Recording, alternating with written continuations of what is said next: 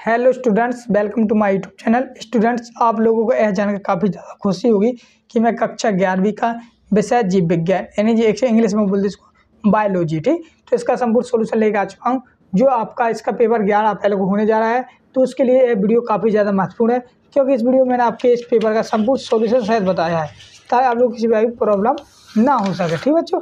चलिए, जैसा कि पहला लिखा आप लोग सामने यहाँ पर तो आप लोग देख सकते हो, पहले यहाँ पर दिए हैं सही विकल्प सही प्रश्न हल करना है, ठीक? तो ये आपके सामने निर्देश दिए जाते हैं इंग्लिश एवं हिंदी मीडियम दोनों वाले बच्चों के लिए। तो चलिए शुरू कर दिए ठीक? तो यहाँ पर मैंने आप लोगों के टाइम में व्यस्त ना करते हुए थोड़ा मैंने यहाँ पर आपको जल्दी जल्दी बता देता हूँ।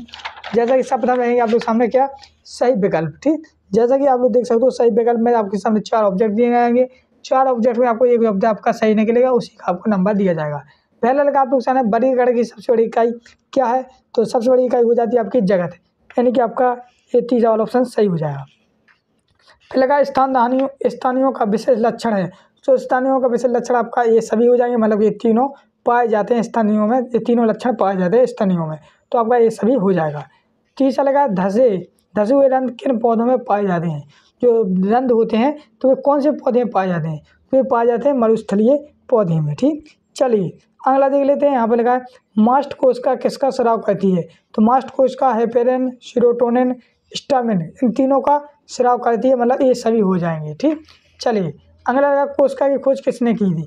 तो बच्चों, ये तो सबको पता है, इसका आप लोग कमेंट बॉक्स में बताएँ। और जिनको नहीं पता है तो उनको बता दें रॉबर्ट हॉक ने की थी।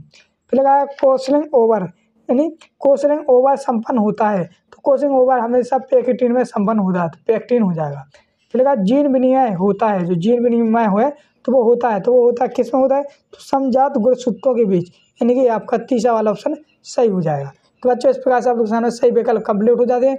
चलिए हम बढ़ते हैं नेक्स्ट नेक्स्ट आप लोग सामने यहाँ पर रिक्त स्थानों की पूर्ति कीजिए। तो चलिए, हम लोग रिक्त स्थान पूर्ति करते हैं।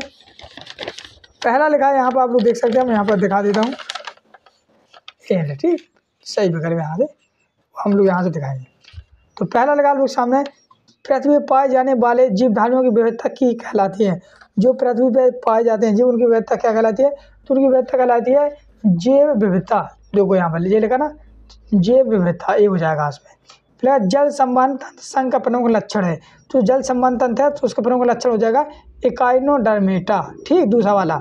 तीसरा, दुई बीज पत्ती तरों में संवहन मंडल एक के रूप में व्यवस्थित रहते हैं। तो किसके रूप में रहते हैं?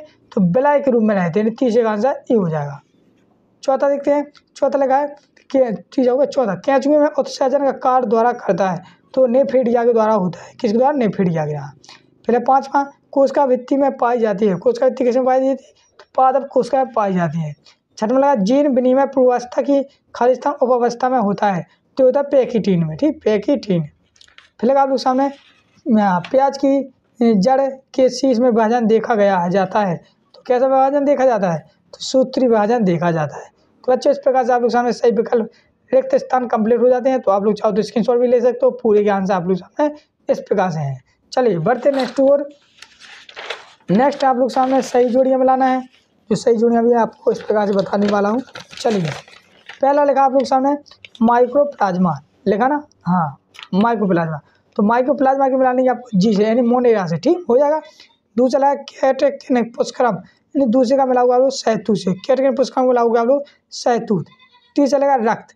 रक्त का मिला हुआ आप लोग तरल संयोजी ऊतक, यानी तीसरे का मिला हुआ ई वाले ऑप्शन से इस वाले।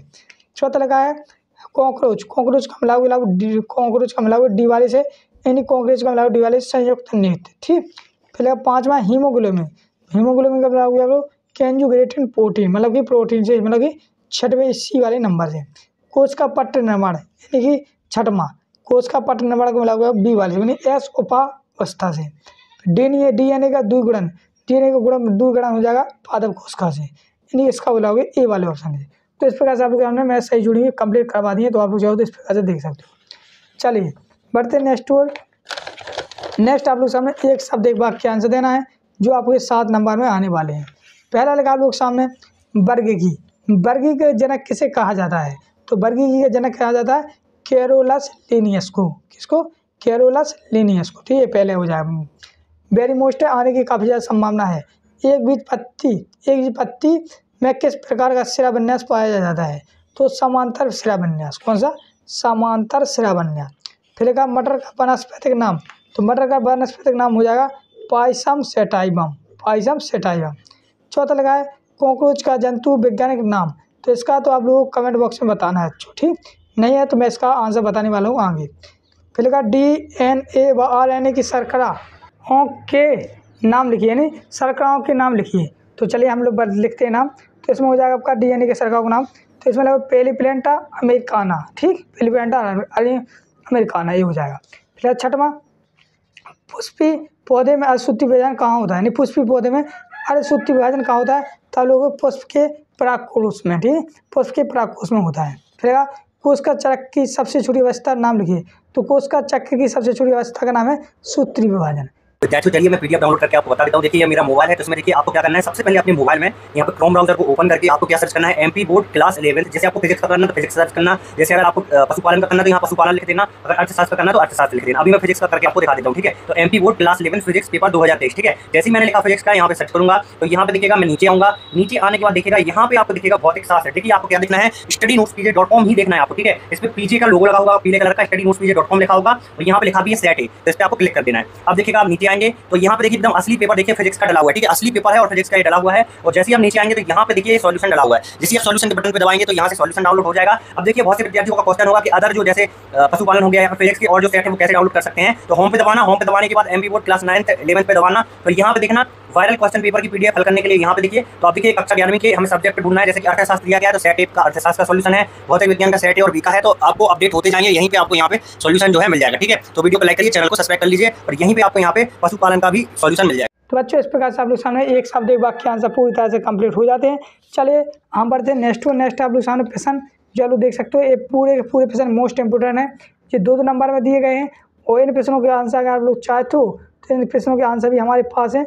जो आप लोग इस प्रकार से देख सकते हो, ये आपका पाँचवा प्रश्न दिया गया है। इस प्रकार आड़ा कलम है तो आप लोग प्रश्न क्रमांक पाँचवा का आंसर, प्रश्न क्रमांक छठवीं का आंसर, प्रश्न क्रमांक सातवां। तो इस प्रकार से पूरे प्रश्न के आंसर दिए गए हैं और आपके प्रश्न भी काफ़ी ज़्यादा दिए गए हैं, जो आप लोग देख सकते हो ये सारे दो दो नंबर में हैं, ठीक? चाहो तो स्क्रीन ले लीजिए। ये सारे के सारे दो दो नंबर में हैं, फिर इसके आगे ये तीन तीन नंबर के हो जाते हैं, ठीक? फिर इसके आगे आपके चार चार नंबर वाले हो जाते हैं। तो ये काफ़ी ज़्यादा वेरी वेरी मोस्ट इंपॉर्टेंट प्रश्न है। इन प्रश्नों को आप लोगों को सीख के जाना है, रट के भी जाना है और इन प्रश्नों के आंसर आप लोग हमारे पीडीएफ के माध्यम से पढ़ भी सकते हैं रिविजन के तौर पर इन्हें देख भी सकते हैं। ठीक है बच्चों? तो इस पीडीएफ को डाउनलोड करने के लिए आपको कुछ नहीं करना डिस्क्रिप्शन टेलीग्राम ग्रुप की लिंक दी गई है। उसे ज़रूर ज्वाइन किया मिलते हैं नेक्स्ट वीडियो में। तब तक के लिए जय हिंद, जय भारत।